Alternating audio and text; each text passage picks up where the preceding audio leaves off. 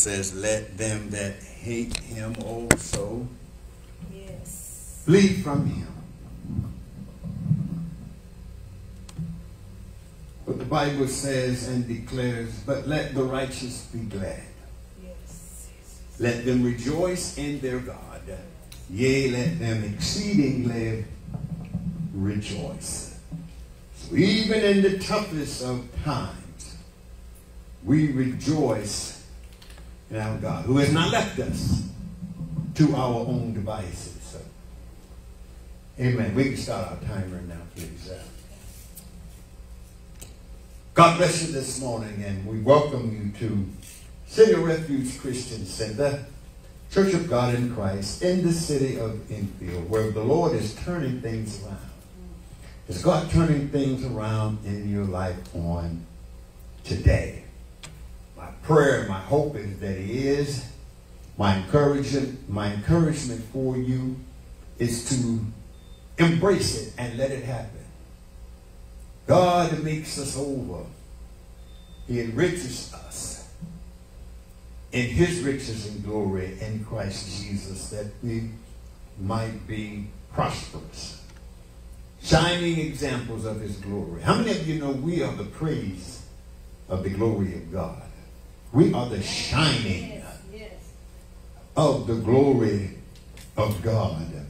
I think about the makeup of life itself. I think about the makeup of the universe. I think about how everything in life has been put in its place. Yes. Yes. Oh man, I was just admiring, even in the tragedy, we admire. In death and life, we admire God. I was Yes.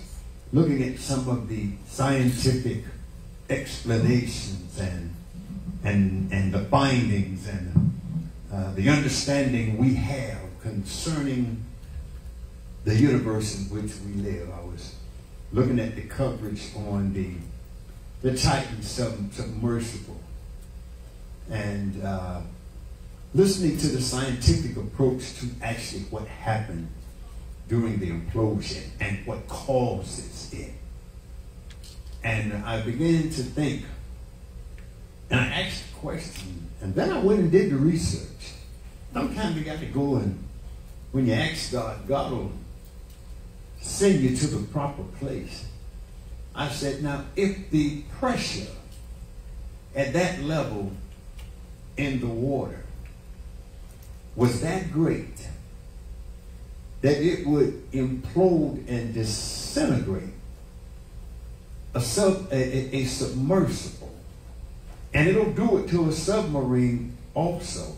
There was a submarine back uh, in the 60s uh, that imploded. And I guess we learned a lot from that. It was a completely, entirely full, fully equipped submarine with a, almost 100 people on board that, that did the same thing. It imploded, disintegrated at such a force that there was no need to even go think about recovering bodies. They were talking about um, the recovery of bodies, and several of the scientists, you know, uh, admit that it's a waste of time. There are no bodies to recover. When that submersible imploded and disintegrated, and when you watch the finite, the small pieces of debris that was thrown everywhere, and to think those five bodies was inside that capsule. And the only reason we see the debris is because it's a metal. The body is not a metal. And so by the body being uh, uh, organic, it just disintegrated and there's nothing for them to go down there and find. And so I asked the question. I say, well, gee, Lord, if human, if, if, if life can't, you know, if we can't go that deep without being in this iron tube, I said, how did the fish survive? And I began to do the research. And I found out that the way God designed, the way that bodies are designed, you know, what causes the body to to re, to respond to the pressure is, is, is air that's in our bodies. And the composition of our bodies, well, well, the scientists determined that that the fish that can live 8, 9, 25, 30,000 feet under the earth, we're talking three miles down, they're able to survive because they can release the air out of their out of their gills. They don't have lungs, they have gills, and they can release that air. And they can shut down almost completely their bodies, their liver functions, their kidney functions.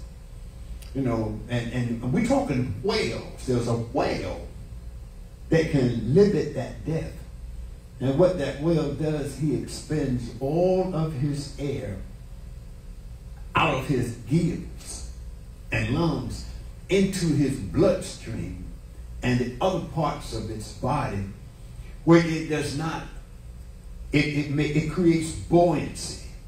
It creates just the centrifugal force that a fish's body that is, that is less this, this, this, our bodies are made a lot stronger than, a lot tougher than a fish.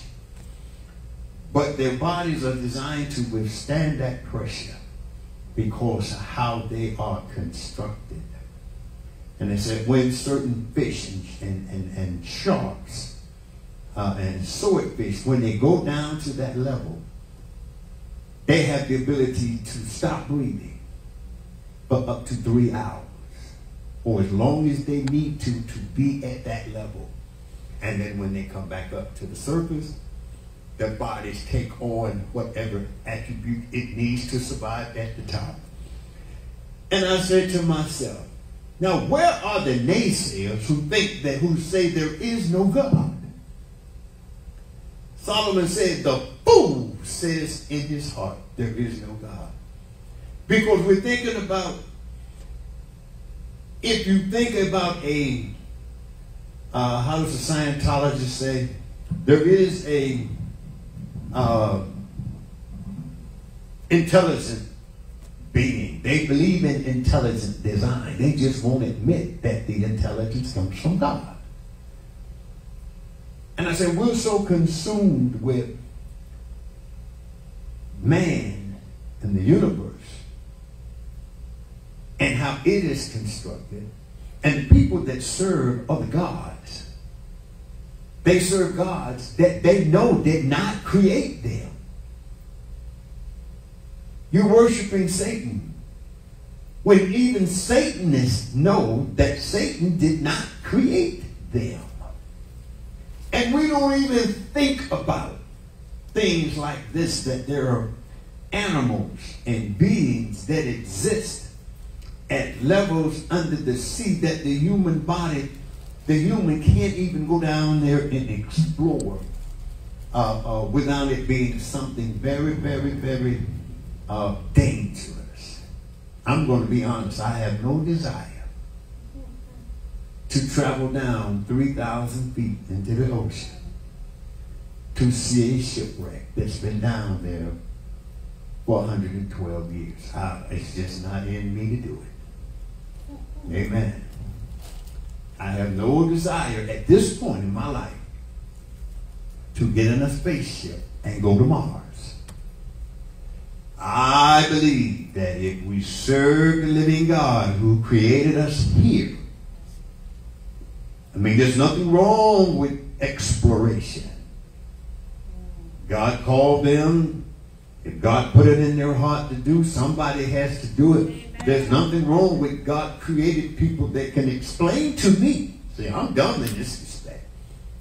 So I had to go and refer to what the experts that have studied this stuff. Yes, yes. The first thing came to me, well, if you got to be in an iron lung to go down in a submarine, you had to be in a submarine or something that tough You know, airplanes wouldn't withstand at that level. The force, the gravity at a thousand feet below the sea is completely different than the gravity on earth. Because on the earth, gravity is being controlled by the sun. Air is thin. But when you go into the sea, air is thick. And it's a whole different dynamic. And I'm saying, well, why these people were so obsessed with, with, with, with who created the Neanderthal and, and, and, and you know, uh, uh, how this got designed and, and, and, and who calls the man, who says a man has to stay a man, who says a woman has to stay a woman. And, and, and why can't I make my, just snap my finger and I be a Japanese? And then I thought about the life that we don't even think about, that God manages in the universe. If you got to Mars, you would realize that something had to create it. And you can't create yourself. So whoever created it had to be on the outside creating it. Yes. A car can't create itself. Listened to a preacher the other night that talked about that sweet potato pie and all the ingredients that go into mom's fantastic sweet potato pie. The milk, the potato, the sugar, you know, the, the, the, the all those ingredients that go into it, the bread, the crust. Well, we know sweet potato pie can't do that from the inside. Somebody on the outside had to create it in order for it to be constructed. And that's the God that we serve. God created everything. And he didn't do it from the inside. He didn't do it by being a part of a rock. God wasn't a part of a fish. He wasn't a part of the sun. He created those things from the outside. If you're going to create something, you have to create it from the outside. A fish can't create its own self. And so the things we don't even think about, God designed. Things we will never come in contact with. I don't care if there's Martians. I don't care about UFOs.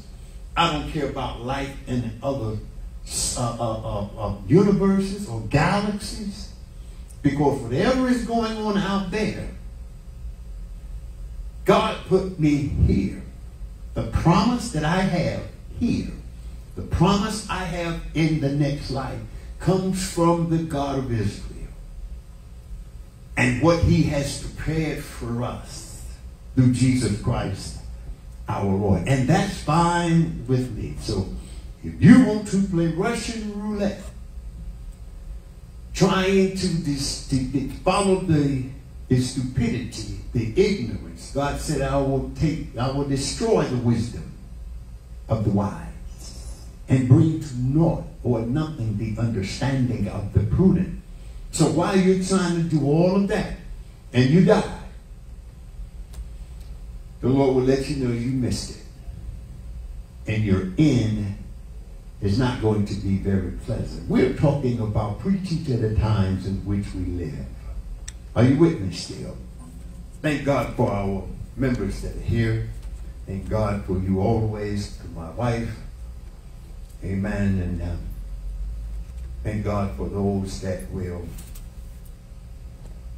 hear God's message, see God's message by uh, our media networks and ministry. Let's go back in our Bibles to the book of Revelation, chapter number 6. We were talking about this on last Sunday, but we didn't get to finish. So I just want to grab a few verses and finish today. Is that okay? Amen. Grab a few verses and finish it. Revelations chapter 6 we were talking about the opening of the seven seals and uh, what the Lord said you could expect if you happen to be unfortunate enough to have to be during uh, the opening of the seals. But prior to the opening of the seals, the conditions in which would that God has put forth, there are conditions that God and God alone has, has, has determined will be before he raptures the church. So my point is this. We're living in those times. There are things that God says will take place that should not be designed to alarm you as much as encourage you to get closer to Jesus we're not able to defeat the destiny of life. Destiny of life has been predetermined.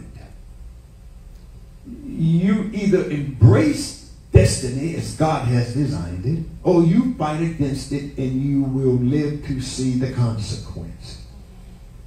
But we can't change what God says will happen we simply have to adjust to it based upon God's guidance.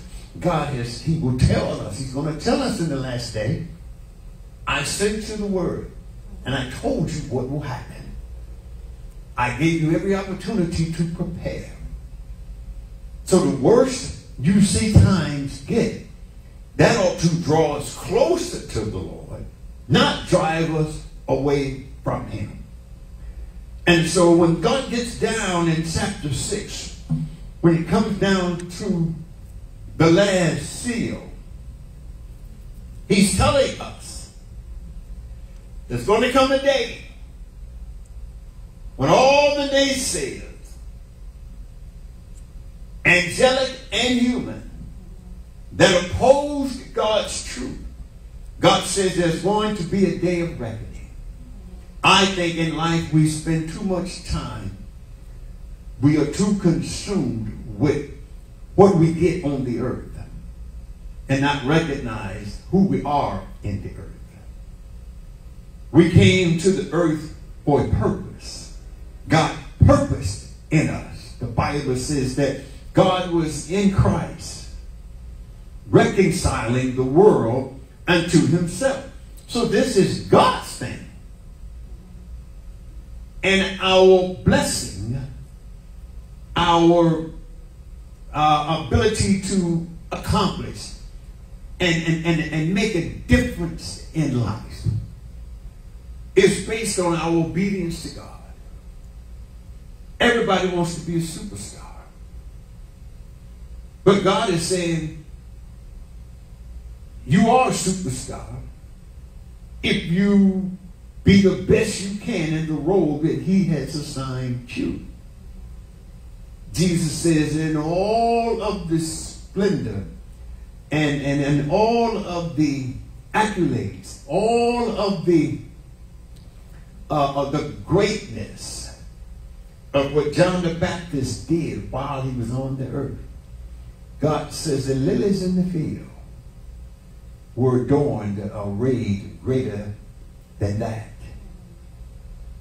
because it is not what we appear to be to men. It's who we are in the sight of God. God validates us. Paul told the Romans in, and, and Romans uh, chapter 14, verse 17, he said, For the kingdom of God is not meat and drink. He says, but it is righteousness and peace and joy in the Holy Ghost. And he says, if in these things thou servant Christ, it is approved of God. As long as God approves, the Bible says it's acceptable to men. God is above man. God is saying if it's good enough for him, it's good enough for man. And that's it. Amen. Thank God for a wonderful youth convention. Our bishop in North Carolina third jurisdiction had on last week. It was a monumental occasion. Uh, thank God for people that are busy redeeming the time. Are you redeeming the time on today? In the book of Revelation, chapter number 6, starting at verse number 12. The Bible declares, and I beheld, and this is John the Beloved, he's talking about the revelation that God gave him when he allowed him to see the opening of the seals and what transpired when the seals were opened. And he said, and I beheld when he had opened the, the sixth seal. And lo, there was a great earthquake, and the sun became black as sackcloth of hair, and the moon became as blood, and the stars of heaven fell unto the earth even as a fig tree casteth her untimely figs when she is shaken of a mighty wind. And the heaven departed as a scroll when it is rolled together. The sky disappeared. Gone. What you see up there now, it just disappears. And every mountain and island were moved out of their places. We're talking about a great reconstruction, you guys. And verse 15 says, And the kings of the earth. This is where I want us to focus today. And the kings of the earth, and the great men, the rich men, and the chief captains, and the mighty men, and every bondman, and every free man. He says, and the kings of the earth, those in charge, the great men, those that have been perceived as the most powerful and influential in our lives on the earth, and the rich men. This is not simply to say those materially rich with money, but those that have resources, those that can determine outcomes by their influence, by their wealth, by their friends, the rich men, the chief captains, the mighty, then the then, then, then the everyday guy the bondman, and the free man. Here's something they all had in common on that day. They all hid themselves in the dens and in the rocks of the mountain. And it was a terrible thing. I'll tell you why. Because after they hid themselves in caves and in mountains, then they said to the cave, they said to the mountain, You got to be in a pretty desperate place to go into a cave and a mountain to hide from something. And then tell the cave and the mountain, verse 16, they said, Fall on us. Who, except a very desperate person, we go into a cave go into a mountain and tell the mountain, follow me and hide me from the face of him, watch this, that sitteth on the throne. Because at that time they will see him. And they will realize. Notice, they didn't call Satan. They didn't call the president. They didn't call the United Nations. Watch this. They didn't call Mary. They didn't call the apostles. It said they hid from him that sitteth on the throne. And My Bible tells me in the book of Acts and in the book of Revelation and in the book of Deuteronomy, among other places, that God sitteth on the throne. And there is no God with him. So if you can't call Jesus, you cannot call nobody. And you know, they didn't call Jesus. You know why they didn't call Jesus? Because by now their fate has been sealed. When you breathe your last breath, went to a homegoing on yesterday, by the time you go to that funeral, that person's uh, fate, their eternity is sealed. You can't call on the Lord from that, from that coffin. Those men got in that submersible last week and that thing imploded Sunday morning. I said, Lord, I know we have professionals that have to work, but uh, uh, I heard my bishop say when the devil came looking for him, he was hiding in the church. I don't care what it is you're doing. If you love Jesus, unless you're on vacation, you can find another day to do it than on Sunday morning. And everybody wants to say the good part for them was that this implosion happens so instantaneously that you never know. The next thing they knew, they was looking at Jesus in his glory or in his wrath. And so if they didn't have Jesus when they dropped down in the water Sunday morning, they never knew that it was coming.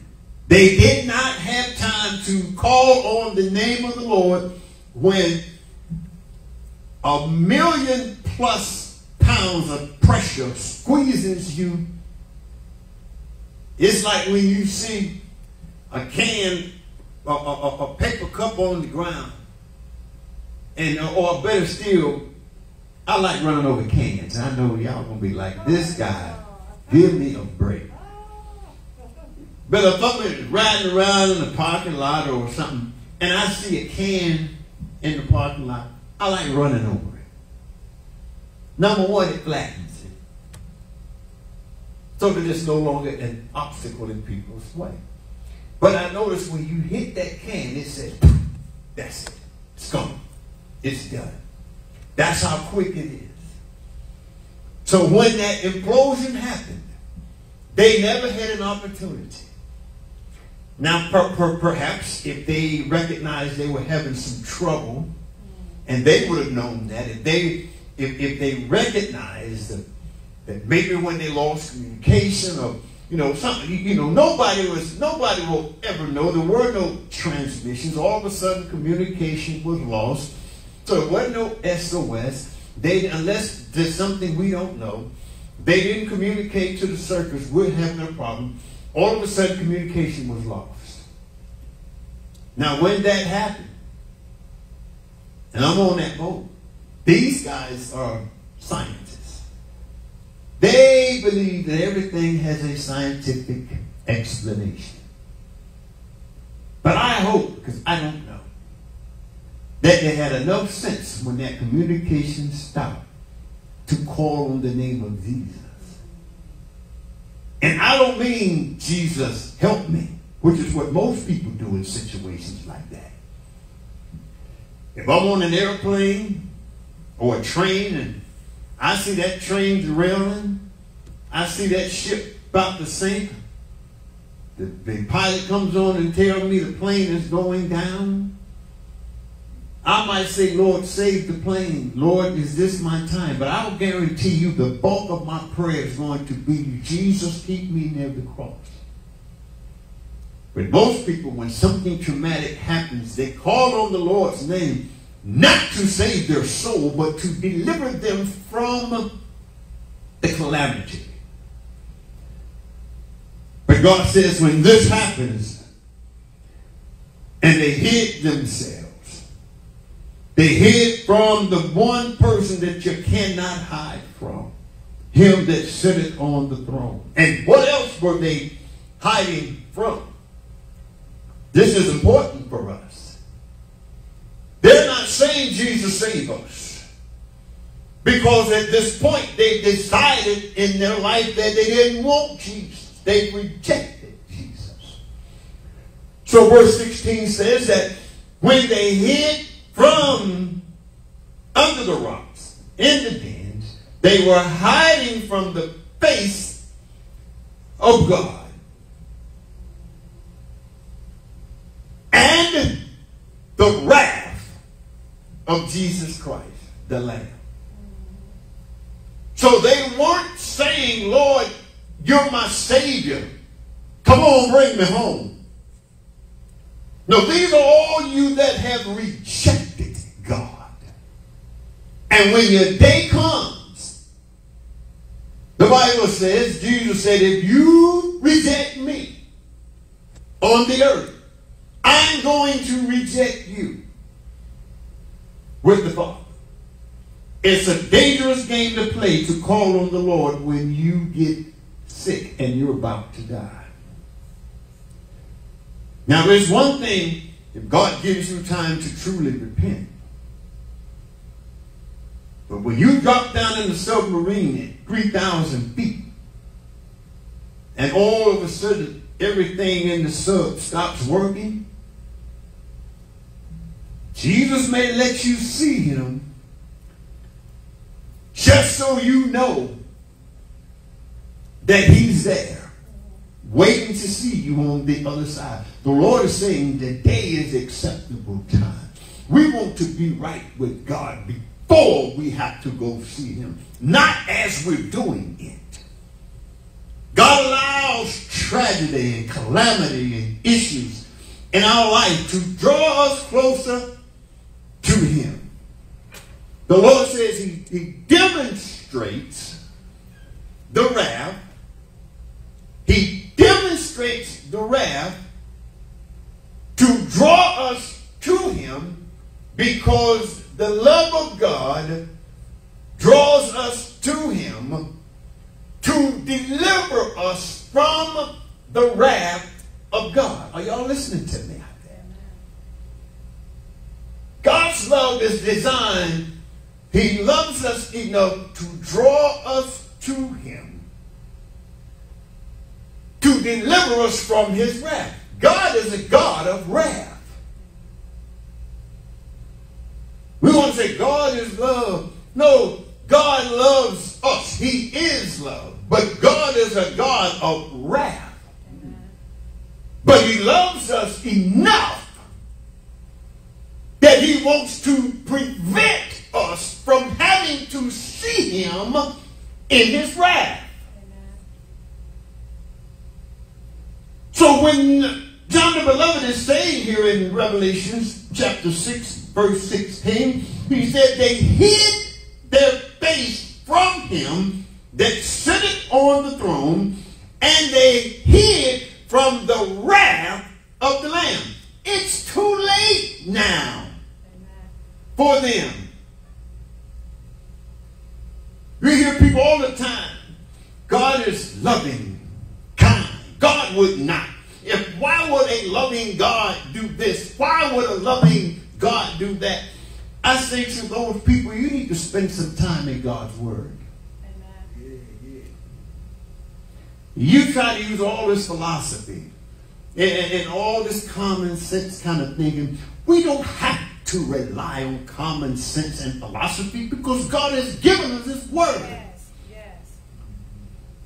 And He says in verse 17, on that great day of His wrath, which is to come, yes. who shall be able to stand? Right.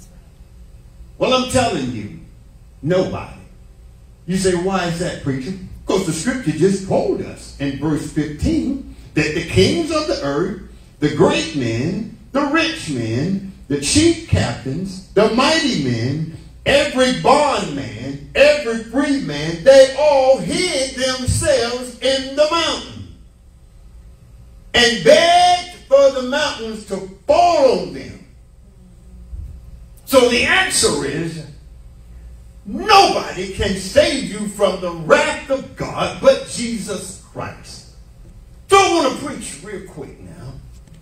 Few minutes left. God bless you, sir. Thank you. Few minutes left. Want to preach from the topic. Want to finish what we started last Sunday. The preaching of today must speak to the times of today. Amen. Father, preach your word in Jesus' name. Amen. When the Apostle Paul said in 1 Corinthians 6 and 17, he said, Wherefore come out from among them and be ye separate, saith the Lord. And he said, and touch not the unclean thing. He said, and I will receive you. Yes.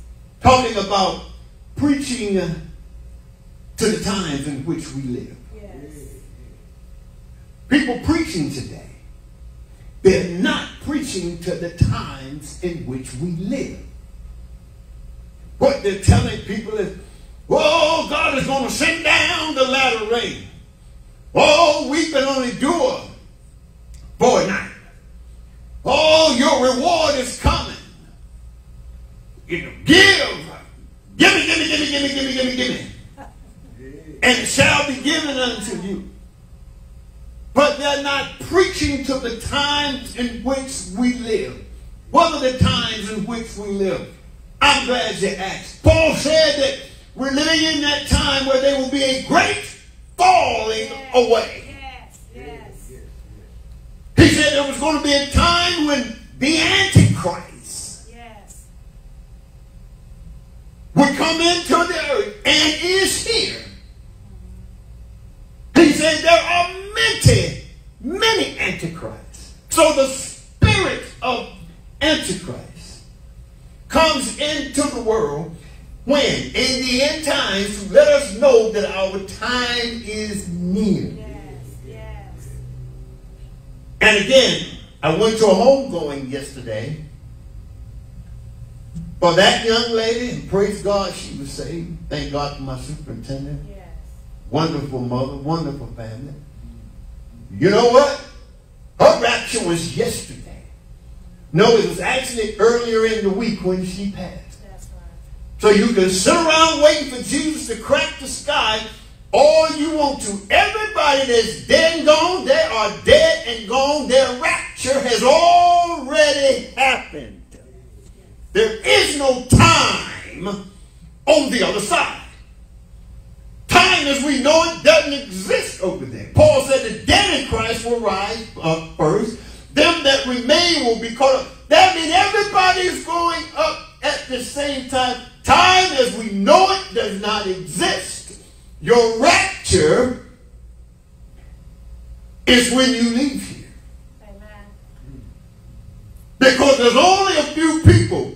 When you think about the number of folks that have been born since Adam and Eve, there's only going to be a few people on the earth on the day the church is taken out of here.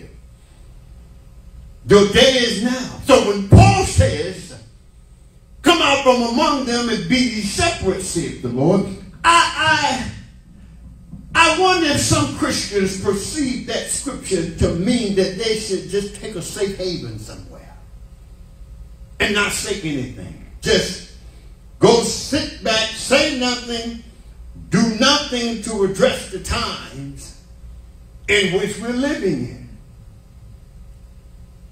But but but if they're doing that, and I know people like that. I know y'all don't, but I know people who do. I just mind my business.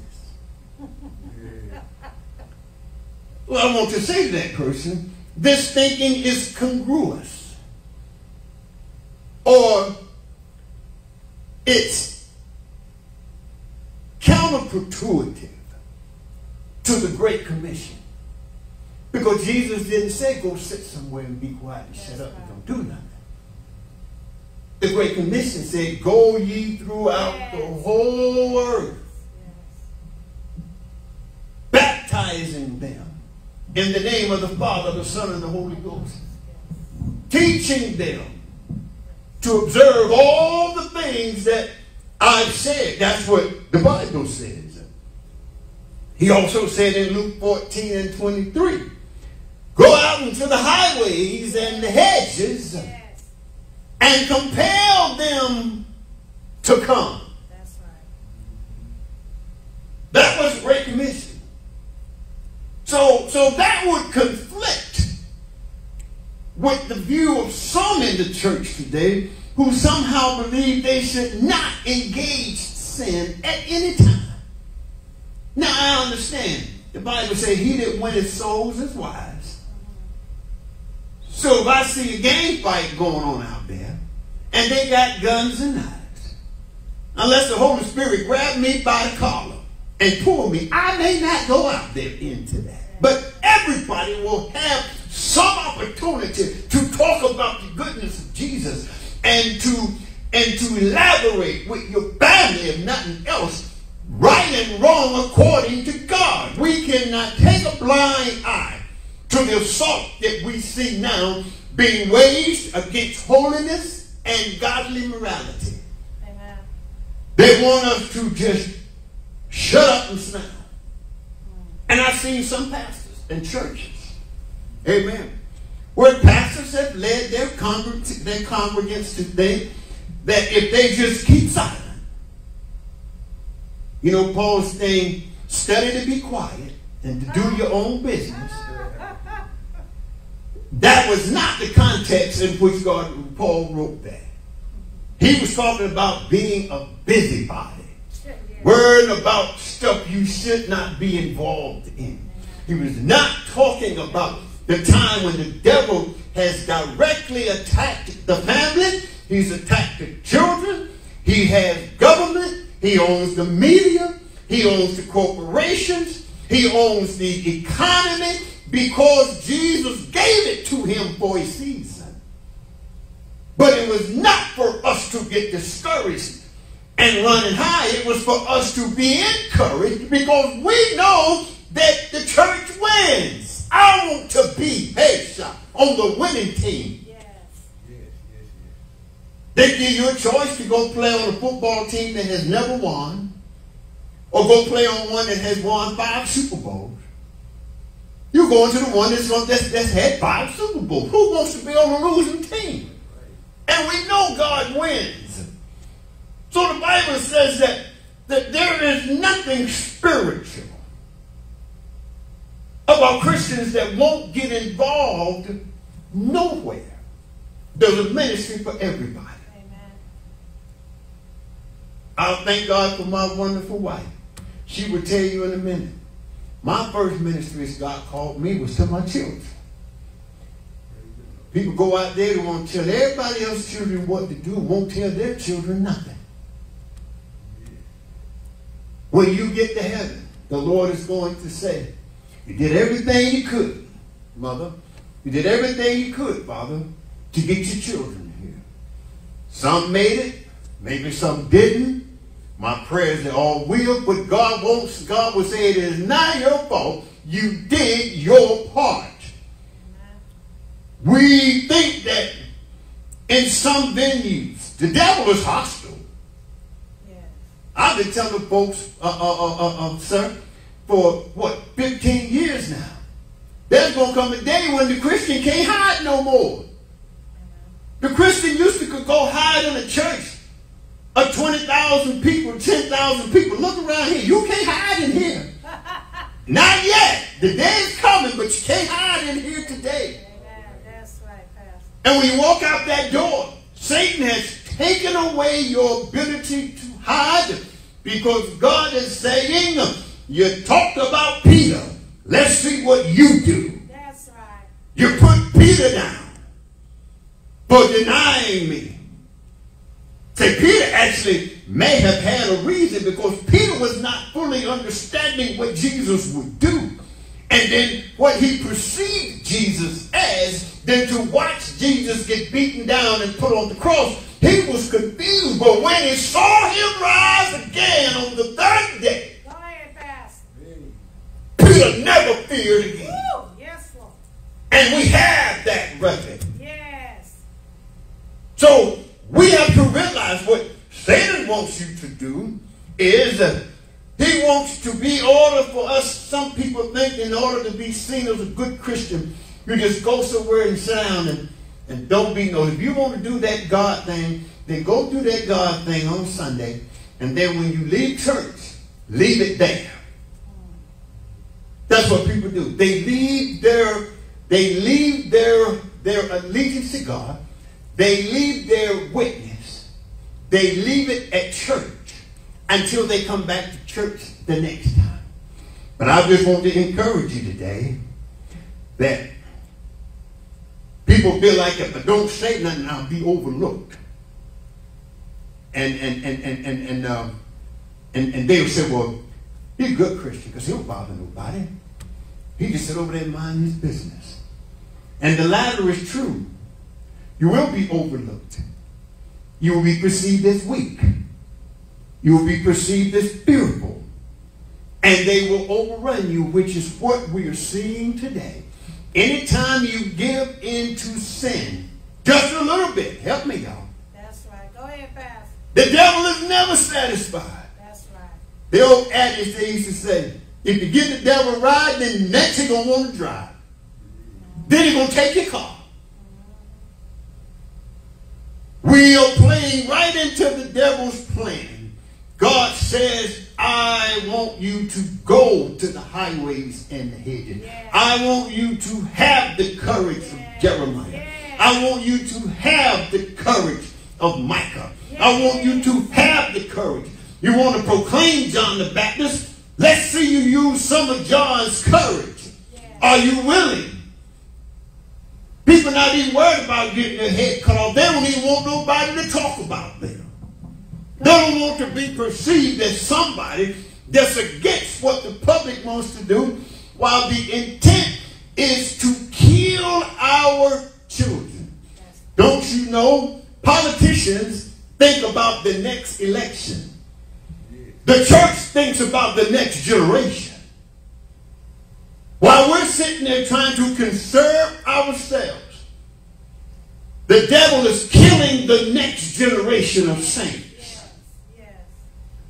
Our children don't have any idea now what to believe. And the devil don't want you to not come to church. If he can't get you to stop going to church, he said, go to church. Just when you come out, shut up and don't say anything. Just stop telling people so we can declare that good is evil. We can declare that evil is good. And everything that's being spoken now, I don't understand how a minor focusing, a minor functioning brain can't see we of our age, if you're 50 or older, even 40 or older, or older, because I got children, all my children Yeah. were born during the time, so I'm gonna have to go back to 30. That's right. We watch society change from a God-fearing society to a society that does not love Jesus. That's right. We watched it. Yes. The slaves loved Jesus, but now that we are free, we have no use for him whatsoever. I'm talking about preaching to the times in which we live. You will find yourself today, if you're not careful, you will be subject to the deception. I remember I joined the military in the 70s, Yes. and I've been working on computers since then. I was working on computers when the single when there were no personal computers. If you had a computer, you was working for some large corporation, or you was working in the military uh, uh, uh, structure. People didn't have personal computers. And now we find ourselves living in a world of complete deception. Technology now has tricked us into believing whatever they want us to believe. And they're telling our children this. They're not going to convince a 60 year old man that there is no God, but they can sure convince a six year old. And we're losing that fight because we're not taking the fight back to them And God says that's why the church is here. If you find yourself losing in your walk because you're confused about what you see and hear, go back to the foundation of God's law. Go back to what you've learned. Paul told Timothy. 2 Timothy 2 and 4, 14, he said, But continue thou in the things which thou hast learned and hast been assured of, knowing of whom thou hast learned them. And that from a child, hey, thou hast known the Holy Scriptures. Yes. Yes. We around people now, our children and our grandchildren, they know we love Jesus, but we're coming to a point where we won't tell them. Go ahead, Pastor. Yes, yes. My grandkids tell me all the time, sir, Grandpa, you getting old. I know that's right. But you know what they don't say? Yeah, you're wrong. Amen. Amen. Grandpa, you're getting old, but what you're saying is right. Because God said it. Yes. Yes. Paul said, from a child you learn the Holy Scriptures, which are able to make thee wise unto salvation through faith in Jesus Christ. My heart goes out to these young folks today. We never thought we'd see a day when everything can be an illusion. This AI stuff now. Used to be if you saw it on a video, you could say, I saw him on TV making that speech. But now they got this technology that will make you make a video that you were nowhere near. I've seen these uh, musicians out here now. They have made their millions now on the internet through these music outlets. And now I seen Dr. Dre the other day, and I think Tyrese and one of them, they were talking about an Ice Cube. They were talking about suing people that are making AI videos of them. So you can't, they used to say, believe none of what you hear and half of what you see. Now you can't believe none of what you hear and none of what you see. The only thing you can trust nowadays is the word of God because God's word is true and it won't change. The same thing it said when Paul preached it, it's saying it today. Yes. Yes. Yes. The average person above 50 or above probably never saw a day coming when we would see technology reign. The whole world is being deceived. Democrats are being deceived by CNN. Republicans are being deceived by Fox. The young folks are being deceived by TMZ because they're telling them what they want them to know and they have no way of knowing the truth. You better stay with God. Yes. He said, watch. He said, mark the perfect man. Yes. Yes. I don't care what you're on there saying. I want to see what you're doing. I'm about done here now. We got to meet God's law our philosophy in life. According to the Bible, there's going to come a day when the Bible and the church will be taken away. Yes. Yes. Now, now, for the most part, we'll be gone when the church is raptured. But if you happen to be unfortunate enough to have to live through the tribulation, the Antichrist is going to shut down the church. And you don't have to miss the rapture. There are countries around the world right now where Christianity is illegal. That's right. They can't go in church. You open a church in China, nobody hears from you again. You go over these Muslim countries and open up a church. That's what the big fight is now between Islam and Jerusalem is because they want to distinguish the church. Have those people as I finish it up here. I'm trying to help somebody here today. Y'all that are watching online, I'm trying to help you. Yes. Yes. I look in the church and these look like saved folks in here. But I'm trying to help y'all out there that's watching. You got there, there are those today who, who they have a need to understand everything.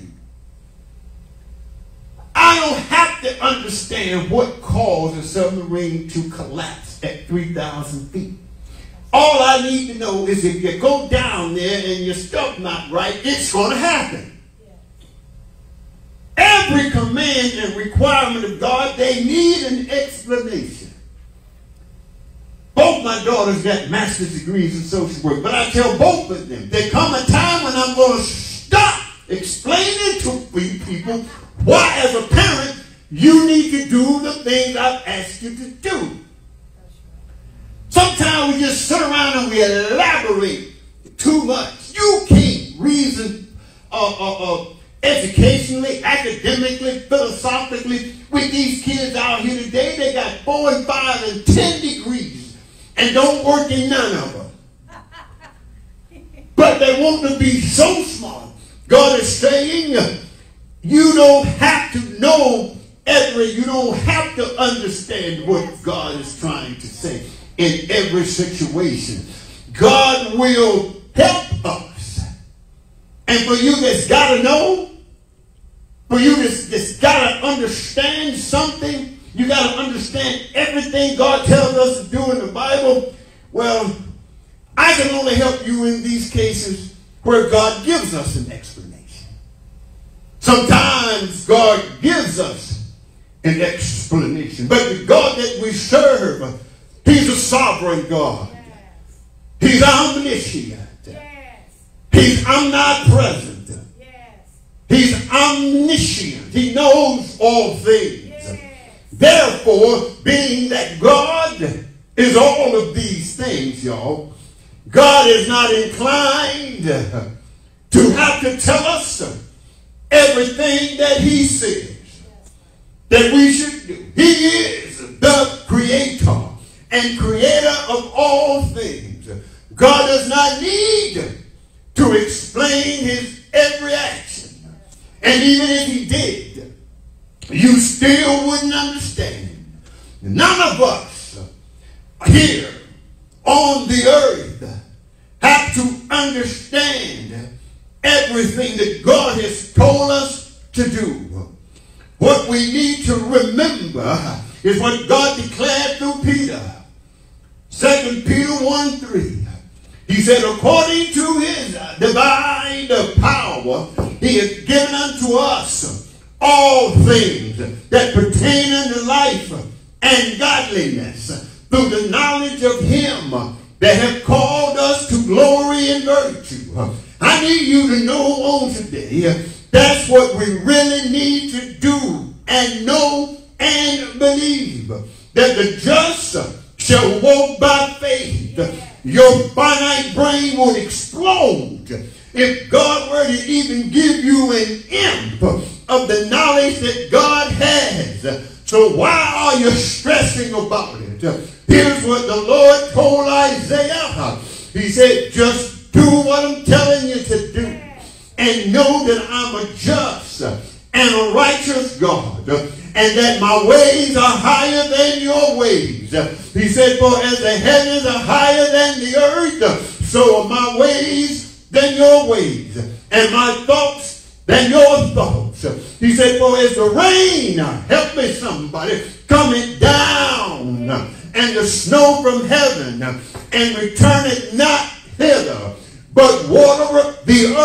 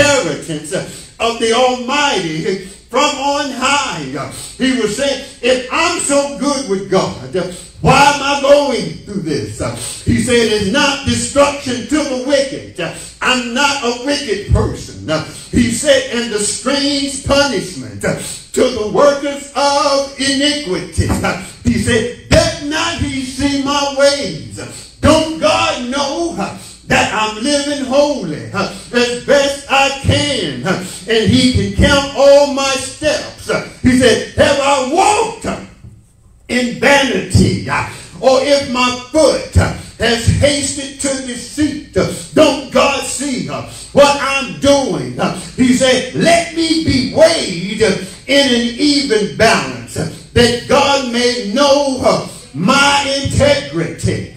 God, you ought to know me by now. God, you know better than this. He said, if my step have turned out the way, and my heart walked away after my eyes, and if any blot have cleansed my hands, he said, then God, deal with me the way you want to. But then I heard the Lord say to Job, in Job 38 and 1. He said, okay, Job, you done got beside yourself. Okay, preacher, you done got beside yourself. Okay, progressive evangelist, you done got beside yourself. Okay, life coach and motivational speakers, you done got beside yourself. Okay, preachers, you call yourself a preacher. You call yourself a pastor. I heard my leader say, if you've not read the Bible all the way through, you've got no business pastoring nothing. We got preachers today, evangelists today, pastors today, uh, and who knows who else, uh, and they're in leadership uh, in the church and have never once sat down and read the Bible from Genesis to Revelation. How you going to know what God is saying? And you've not read the Word of God. And if you're not reading the Bible, then your prayer certainly can't be that right because God's desire, His will for your life is written in His Word. So God, He says to Job, the Bible says He answered Job, and He answered him out of a whirlwind. He said, okay, Job, let's be clear. I don't want you to thinking that this is some angel or principality. When God shows up in his presence, you're going to know that it's God. He shows up in a whirlwind. When God showed up to Moses in the burning bush, there was no doubt that Moses knew who God was when the Lord appeared under Abraham, under Abraham in the field of Mamre on his way to Sodom. The Bible says Moses stood up. I mean, Abraham stood up and he called Sarah and said, make some food. For I see three angels coming and one of them looks like the Son of God. You're going to know when God speaks to you. So he speaks to Job out of a whirlwind. And he says to Job, like I'm saying to some of you that are listening to all this teaching, you're listening to all this AI software, you're listening to all these talking heads on TV, you're doing everything but picking up the book. And you better buy you a book because they'll change the words on you on the internet. I see everybody reading now their Bibles from electronic devices. Don't you know how Google can go in there anytime they want to and change your ears to an ain't. They can change a red to a blue. And you won't have no idea that it's been turned. But I want to encourage everybody here, like we did in all our churches, you better buy yourself a book that way, if anybody changes words that is going to be you when you're writing your notes. He says to Job, Hey, Job, here's what I want you to do. He said, Who is this that darkened the counsel by words without knowledge? Who do you think you're talking to? I'm the one that fashioned the moon and the stars. You're talking about creation. Let me tell you something. Since you want to be a man, then act like a man. We got so many people nowadays. They want to run the church. They want to pastor. They want to preach. They want to be in charge. But they won't gird up their loins like a man and be responsible. If you're going to be responsible for God's word, you've got to preach it the way God said preach it. You've got to carry it the way God says carry it. You've got to walk in it the way God said walk in it. This is why preachers and churches are so powerless. They're not walking in God's ways. They're not worshiping and serving the Lord in spirit and in truth. And the Father is saying to the Son, why should I work through them? He's just putting on a show. He don't really love me. The only time he prays is right before he get ready to preach. The only time he studies is when he's studying for a sermon. God said to Job, stand up, Job. Gird yourself like a man. I'm getting ready to demand something from you. And I want you to answer me. Don't sit there and shake your head. Don't sit there and say you don't know. Because all this talking you're doing, you must know. You got to be smarter than me. You got to have been where I've been because you're challenging what I say. He said to him, where were you, Job, when I laid the foundation of the earth. Come on, Job. Declare that to me. If you have any understanding, he said, who laid the measures thereof? If you know, Job, tell me who measured the world. Tell me who measured the earth, who has stretched forth the line on it. Come on, Job. Don't sit there looking bewildered. He said, whereupon are the foundations thereof bashed? And who laid the cornerstone thereof. I need an answer, y'all. He said, where were you when the morning stars sang together and all the sons of God shouted for joy?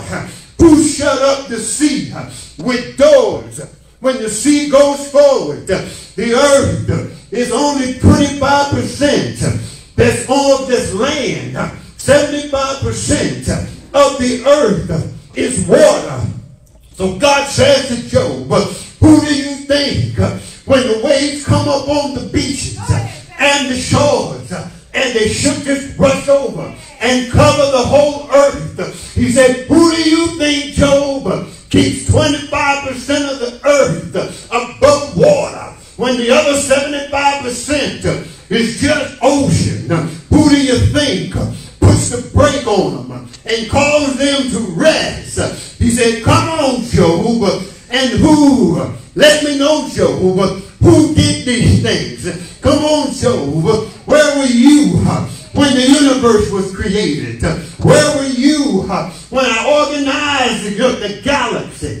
When I organized the sun? He said the sun rotates, the moon, the earth rotates 24 hours in a day that gives us time, that gives us a day. He said the earth rotates around the sun 365 days out of the year. That gives us our year. He said, come on, Job, what causes the other stars in the galaxy to not come down and wipe the earth off. Help me, Job. You got the environmentalists talking every day about global warming. We're destroying the earth. The ozone layer is thinning. But, oh, Job, I didn't see y'all take off from the earth. I see gravity still got you down here on the earth. Help me, Jehovah. And when he got through talking, uh, he said, Moreover, Jehovah, you need to know uh, that who uh, shall he contend with the Almighty that instructs him? who on this earth can contend with the Almighty that instructs us? Who, if you can cause it to rain, I'll listen to you.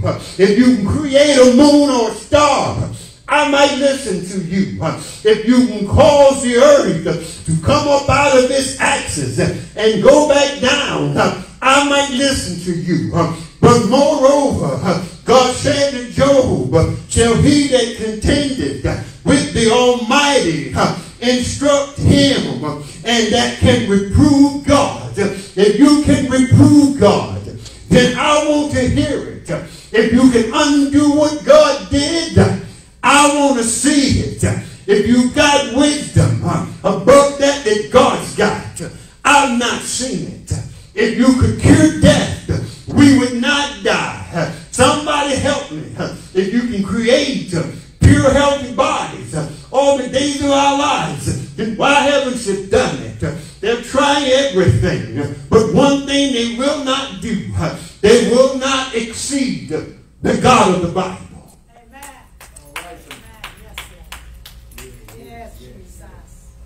We got to learn how to trust in something. Yes, yes, People believe in everything but the God of the Bible. Yes.